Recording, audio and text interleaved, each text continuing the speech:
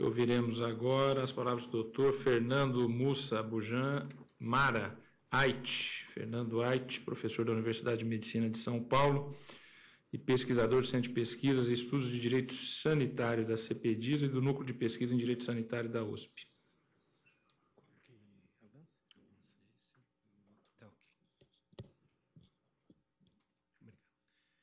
Senhor ministro Dias Toffoli, senhor subprocurador-geral Mário Guise, senhora doutora Carmen Lúcia, senhoras e senhores, eu gostaria de iniciar é, dizendo que nós, do Núcleo de Pesquisa Direito Sanitário da USP, ficamos muito satisfeitos em é, perceber que o Supremo Tribunal Federal começa a se utilizar é, com alguma regularidade, que esperamos que se torne uma regra, é, desse, desse instrumento da audiência pública para fazer discussões de cunho é, legislativo, jurídico, político e técnico sobre questões que afligem a sociedade brasileira.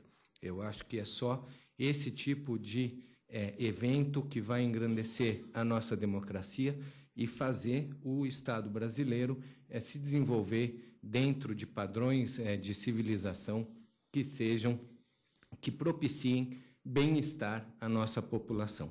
Então, é dentro desse espírito que estamos aqui, é, eu vou tecer algumas palavras sobre o tema a partir da ideia de que a saúde é um direito de todos e um dever do Estado brasileiro é, e tentar identificar na questão específica dos campos eletromagnéticos que deveres é, seriam esses do nosso Estado. É, então, inicialmente, é, ressaltar que o artigo 196 da nossa Constituição é, em uma posição muito avançada em termos de direito comparado. São poucos os estados do mundo, inclusive os que pertencem à Organização Mundial de Saúde, até por isso, tomar como padrão para o Brasil as diretrizes da OMS, eu acho que é uma posição extremamente conservadora para uma sociedade que assumiu na sua Constituição é, o dever de garantir a saúde é, das pessoas e garantir a essas pessoas a saúde como um direito. Essa dupla, é, é, esse duplo caminho da saúde, direito do cidadão e dever do Estado, vai exigir desse Estado é, políticas sociais e econômicas, como bem dito é, na Constituição, e eu acho que esse é o ponto central que nós temos que refletir aqui, é, é quais as políticas que devem ser adotadas no que se refere aos campos eletromagnéticos para, e está lá, objetivo constitucional é, brasileiro, reduzir riscos de doenças e outros agravos. Ora, é, estamos aqui tratando de um risco.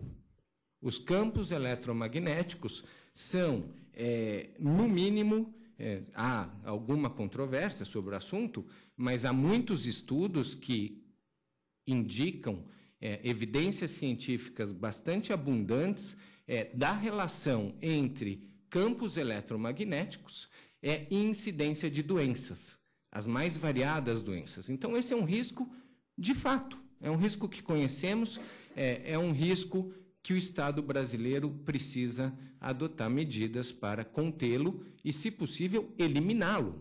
Esse seria, obviamente, o ideal. E está lá na Constituição também é, que esse Estado é, tem que proteger a saúde das pessoas. E a proteção da saúde se dá por medidas de vigilância em saúde, é, basicamente, mas também por ser a saúde um campo multidisciplinar, principalmente a saúde pública, envolve outras é, esferas é, de, de econômicas e sociais que a saúde tem que dialogar, e eu acho que é isso que eu vou tentar fazer aqui. É uma relação entre o direito à saúde e esse sistema de energia elétrica que foi criado é, e se desenvolveu dentro de um contexto onde nós, sociedade brasileira, ainda não reconhecíamos a saúde como um direito. Fato é que agora reconhecemos. E estamos diante de um risco é, que as evidências científicas demonstram é, de uma relação direta entre exposição humana aos campos magnéticos e a saúde das pessoas. Esse risco é, se evidencia ainda mais até é, quando a gente tenta compreender melhor a diferença do risco entre o trabalhador dessas energias é, e o cidadão que está próximo ou passa por esses campos magnéticos. Ora, se a pessoa que está em exposição permanente a esse risco, porque trabalha nela ou porque mora próximo, é, é, causa uma preocupação maior, é, significa que nós já assumimos que isso é um risco. Eu acho muito curioso, é, de várias exposições que foram feitas, a tentativa bastante é, interessante de dizer é, que, porque há dúvida, não há risco. E não é bem assim que a própria é, ciência funciona. Se há dúvida, a gente tem que tentar clarear a dúvida, mas os indícios, as evidências científicas entre o risco da, é, do campo magnético e a saúde das pessoas é, me permitem é, afirmar que o Estado brasileiro não pode mais se quedar inerte é, face a esse risco que nós estamos visualizando. É, um estudo é, do Michel Kundi é, levanta vários, é, eu não vou me aprofundar muito nisso, porque também é, não é um enfoque, mas é só para deixar bastante evidente como há uma grande é, produção científica, e eu concordo com a professora que me antecedeu, que devemos continuar investindo nessas pesquisas e chegar num, é, é, o mais próximo possível do que seria uma verdade científica, se é que isso existe. Agora, esses estudos me mostram é, que as evidências são bastante claras na relação. É, e essa causalidade direta e indireta com relação aos cânceres, por exemplo, a gente nunca vai conseguir sob nenhum risco, é, porque o câncer, como foi dito, é multifatorial. Então, os estudos falam da relação entre campo eletromagnético e leucemia, tumores no sistema nervoso infantil. É, leucemia infantil é, um, é, o, é, o, é, o, tipo de relação mais relatada. É, leucemia em adultos, tumores no sistema nervoso de adultos, câncer de mama, outros tipos de cânceres. É, alguns específicos é, indicam que a leucemia infantil duplica quando eh, a exposição está acima de 0,4 microteslas, aumento do risco de leucemia infantil é, numa média de 0,4 microteslas, é, aumento de câncer em geral entre 0,01 e 0,02 microtesla, o que é bem pouco, se a gente considerar os valores que a gente está tratando aqui de, de, de exposição. É, relatos de aborto, de, de é, indução ao aborto decorrente da, da exposição é, a 1,6 microtesla, é, novamente leucemia infantil, risco de câncer e doenças degenerativas, é, enfim, e aqui um pouco o, o, conjunto dos possíveis riscos a que estamos submetidos pela exposição. É, além da leucemia e dos cânceres, é, o aborto, disfunção da reprodução ou do desenvolvimento, a gente viu aqui o efeito do, do, do campo de, dessa exposição é, nos próprios gametas humanos, esclerose lateral amiotrófica, mal de Alzheimer, infarto, suicídio, é, como foi relatado na primeira exposição, depressão.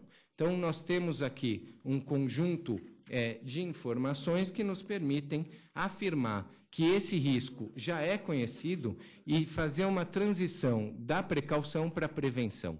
Uma vez que eu tenho um risco à saúde pública conhecido e eu conheço medidas possíveis para reduzir esse risco, que foram relatadas aqui, várias medidas, seja aumentar é, a altura, seja enterrar a rede, enfim, eu tenho um risco e eu sei qual é a medida que eu posso adotar para eliminar esse risco.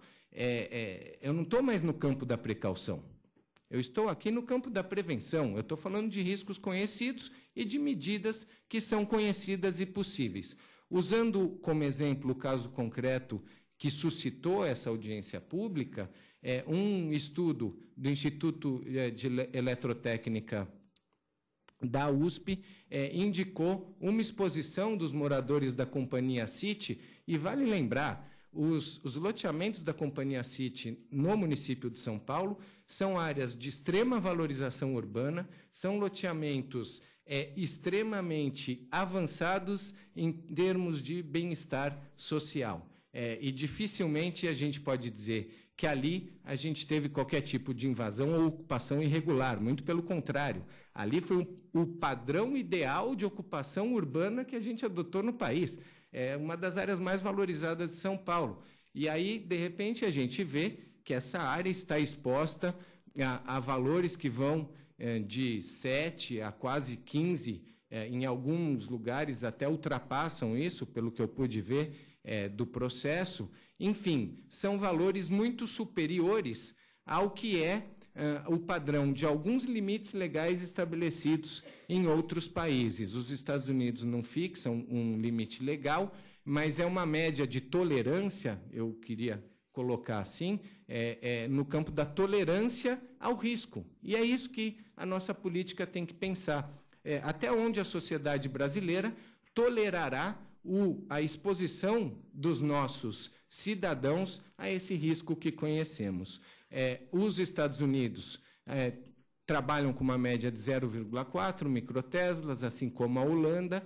A Suíça é, fixou em 1 microtesla o seu limite legal, é, num padrão extremamente exigente e avançado, perto das evidências científicas. A Austrália, 2,5 e o Brasil, é, lá com seus 83, tomando como base o padrão é, é, da OMS. Essa exposição até 83,33 microtesla, ela me parece, à luz do artigo 196 da Constituição, é uma determinação inconstitucional é, é, dessa norma da ANEL que fixa esse valor, que é a resolução 398 de 2010. É, significa dizer que não é porque a Organização Mundial de Saúde fixa diretrizes sobre o assunto que nós, sociedade brasileira, devemos nos confortar com esse padrão. Nós devemos nos é, é, é, discutir socialmente, que é o que estamos fazendo aqui, é, qual é o padrão que nós, brasileiros, admitimos disposição aos nossos cidadãos. É, e me parece que, face ao artigo 196, que determina que o Estado, e aqui o Estado não é só o poder executivo, é, é no que entraria essa resolução da ANEL, que deveria se adequar à, à, à lógica constitucional de proteção da saúde das pessoas, é, mas também o Poder Legislativo e o Poder Judiciário é, têm que trabalhar conjunta e harmonicamente entre si para garantir essa redução de risco, é, de, definindo aí é, medidas de curto, médio e longo prazo, a gente não precisa salvar tudo imediatamente. Eu acho que isso é poluir o debate. A gente tem medidas emergenciais, que eu gostei muito da indicação, é, é que dá para mapear. Então a gente consegue perceber quem está exposto a riscos permanentes e esses a gente atua de forma mais imediata, seja enterrando ou levantando. E a médio e longo prazo, pensar em como é que a gente quer organizar esse sistema para reduzir aos padrões é, que signifiquem uma exposição a risco de doença e outros agravos é, apta a se conformar à Constituição Federal. E aí eu coloco também algumas fotos para mostrar que o campo eletromagnético é somente um dos possíveis riscos desse tipo é, é, de é, serviço público. É, tá, pro, essas antenas e torres e linhas provocam incêndios, aí um exemplo é, de incêndio na estação de Pirituba, de São Paulo, é, outro incêndio na estação de distribuição Bandeirantes, de Guarulhos, é, mais um incêndio na estação da Moca, é, incêndio em Campo Grande, incêndio em Imperatriz, no Maranhão. É, aqui uma mensagem que indica que nós estamos tratando de um risco conhecido é, e nem sempre devidamente prevenido, é, que está lá, né, escrito no, no muro né, é, da, da, concessionária na Mota, da Moca, é, os fios de sua rua podem causar choque até 13 mil volts. Eu acho que esse tipo de aviso deveria também ser estendido à questão das ondas eletromagnéticas, que também podem significar algum risco. É, e para concluir, aqui o que é, a gente pensou em aportar é, para esse debate, as evidências científicas apontam para o risco de câncer e outras doenças mediante uma exposição a campos que vão de 0,1 a 1,6 é, microteslas. A tolerância da legislação brasileira de 83,33 microteslas está muito acima dos limites admitidos em países que regulam a questão legalmente, países que têm é, é, conhecidamente um desenvolvimento econômico e social avançado. Essa tolerância me parece nitidamente inconstitucional, face ao dever previsto no artigo 196 da Constituição. É, a exposição do caso concreto que suscitou essa é, audiência pública é de 6 a 15, então suficiente para se enquadrar no risco é, é, de vários estudos sobre câncer, leucemia infantil e etc. E aí, então, face a essas evidências científicas, a, a minha questão que fica é, é, o que, que, impede o poder público, é, no sentido de exigir das prestadoras de serviços, serviço esse que é público, lembre-se, né, é, medidas de contenção desses riscos que eu conheço e é, medidas que eu também já sei quais podem ser. É, seria o impacto econômico pelas exposições que eu tenho visto, parece que esse é o ponto. É, e se esse é o ponto, eu gostaria de colocar, é, é, a, perceber o problema por um outro enfoque. Quer dizer, então a discussão é quanto vale uma vida. É, foi colocado num do, numa das apresentações que me antecedeu é, que os estudos aumentariam apenas dois ou três casos em determinada comunidade. Ora, quando eu falo de saúde e de vida, nunca se fala em apenas. É, se aumenta em um ou dois, aumenta. Há o risco. É, e a gente tem que tomar alguma providência quanto a isso. Não dá é, é para a gente, face a um risco evidente, manter uma posição inerte por causa de custos econômicos é, que são sempre é, manuseáveis por meio de uma boa política pública que considere riscos imediatos, riscos mediatos, riscos futuros e que é, se planeje ao longo do tempo. Então, esses riscos derivados dos campos magnéticos já são conhecidos, as medidas de prevenção necessárias também já são conhecidas, é, e então a nossa é, posição é que não há mais razão nem para essa resolução da ANEL continuar vigente, face à sua evidente inconstitucionalidade perto das evidências científicas que temos e o dever do Estado de prevenção, é, e que as políticas públicas devem ser adotadas aí dentro de um planejamento que ali redução e eliminação de riscos imediatos com a redução desses riscos para o futuro. Eu agradeço a atenção e fico à disposição. Obrigado. Mário, não tem pergunta? Eu pergunto, doutor, o senhor chegou a atuar na perícia do, do processo? Não, né? não, senhor. Porque houve é, professores da, da USP que chegaram da, a atuar na perícia. Não, Agradeço. Não atuei. Agradeço a presença de Vossa Excelência.